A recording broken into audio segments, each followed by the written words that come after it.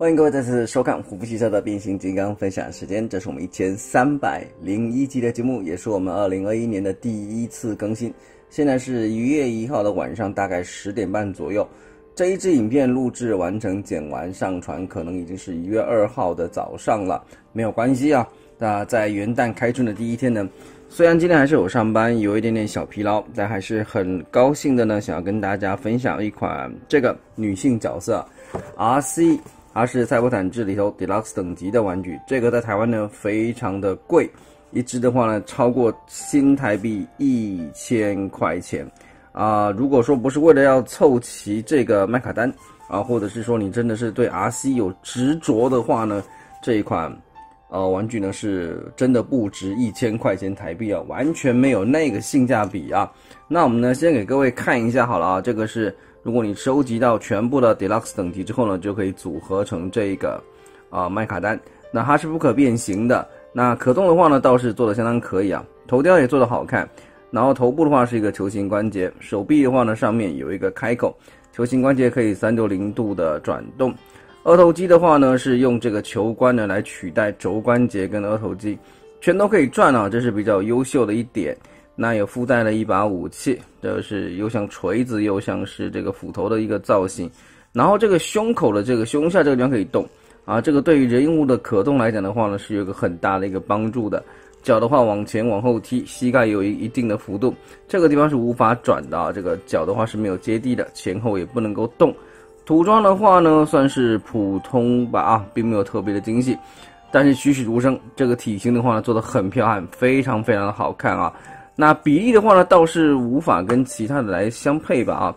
这个动画片虽然没看到那，但是 RC 跟这个这个壮汉老板的话，显然这个身高比应该是不太正确的啊，头身比也应该不太对啊。所以这个嗯，就姑且说这个比例控来讲的话，算了，这期把你放这儿吧。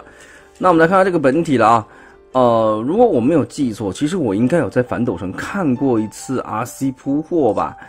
嗯，好像一箱八个都是 RC，那后来我当然我是没有买，因为我是看了一下功能盒里头看，都可以感觉到它有一个巨大的背包啊，而确实它背包真的是异常异常的巨大。那玩具的话呢，就是就这么大一个背包的话，已经是啊，这个我都不知道怎么说啊。最近的 RC 是背包是大家是在比大的，那它这几个特效件啊，这个特效件的话呢。呃，正常来讲是安置在武器上，它是有一个弧度的啊，是有一个弧形的。那这个特效件挺漂亮的啊，这个水蓝色，你看看了吗？在这个光源的这个稍微打一点点光的话呢，就会有一个非常漂亮的一个反光的感觉。那一样是一个粉红色的 RC 的配色，但是呢，这个如果没有勾线的话，这个细节是比较不是那么明显的。脸部呢，紫色的口红印，然后紫色的眼影。水蓝色的眼睛，感觉有那么一点点的那那那那么那么那这么可爱，一定是男孩子吧？我怎么这么说了？啊，这个胸型做的很漂亮，身体的话做的很好看。如果没有这个背包的话呢，它的人形是很漂亮的啊。当然，这个已经成为一个废话啊啊！你没有发现最近的阿西的身材一个比一个还要好啊？当然，大红鸟是超好啊，这个也其实也做的不赖。原因就是为什么？把反正。所有东西都往背包里头去丢啊，就车包人啊，就完全就已经是现在 RC 的一个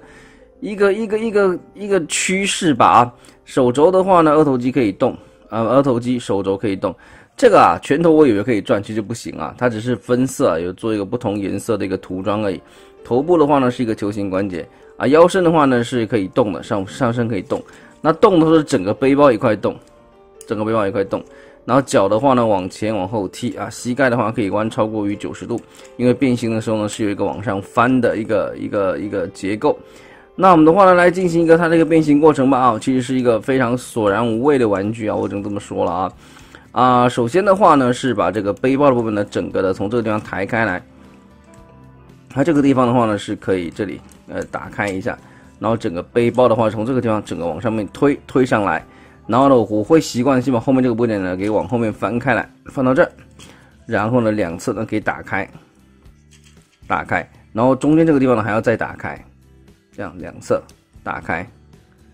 两侧打开，然后呢这个部件的话呢，利用这个松动关节把它给推进来到这个位置，再来的话呢是这个背包的部分啊，这里也是一个松动关节，一样把它整个给拉出来。而且这个粉红色这个部分呢，要拉要整个推到上面来。那推这里的时候呢，我这款玩具呢虽然是朋友借的，那我相信他可能把玩次数也不是很多吧，我感觉是推上去的时候是有那么点紧啊，啊，一定要包覆到这个，至少要包覆到这个状态啊，至少要包覆到这个状态，然后这里推上来，先把这整个车型给弄出来，因为这一代的几个双动关节，我个人都觉得是有点偏紧的手感了啊。那这个脚的话呢，就是直接的这个脚后跟收进去，然后呢直接往上翻。说明书是有提到说，好像是跟这个地方啊，这个地方好像是个卡扣啊，是不是要扣进去？但是我觉得扣进去呢，在这能扣进去，但是呢收进车底的时候呢，感觉就可能跑掉了，你自己也不知道。Anyway，你就是把它给推进去了啊。然后呢，手臂后方有个凸，然后这个地方车尾有个凸，可以扣进这个手臂内侧去，大概就这个位置推进来会刚刚好啊，会刚刚好推进来。另外一侧呢也是一样的，往上推。再往这推进来，OK 了啊！这样来的话呢，我们这款啊，不知不觉的话就把 RC 给变形完成了啊。那这个胸部的话呢，距离地面呢非常的近啊，但是呢，啊，很显然这个罩杯呢，啊，是计算的刚刚好的啊。那么车型一样是标准的粉红色的配色，那感觉是相较于之前的一些 RC 的话呢，这一款你可以发现它这个侧面来看啊，弧形还是还是有这个弧形，弧形都有。但从正面来看的话，就会觉得它特别的方，啊，就尤尤尤其是从某些角度来看，特别是这一代，这一代这个直角过渡啊，是非常非常的一个比较尖锐的一个感觉，没有以往 RC 那么那个圆弧啊，它其实整个都是圆弧，就就是这个地方这个这个过渡，这个角打得很大，后面的这一个部件的话，也是圆弧的一个形状呢，也是比较明显的，那它的一个武器呢，可以完美的收纳。到这个车底，这个呢也是 每次变到这个啊，就想到这个数年前 IDW 的这个 RC 啊，真的是非常的经典了。你看那个那一个模具呢，几乎影响到后期许许多多的 RC 啊。在这个地方，把这个火焰特效键给放到这，OK，那这个的话平常可以摆在后面，就感觉它这个速度呢似乎是变得更快了啊。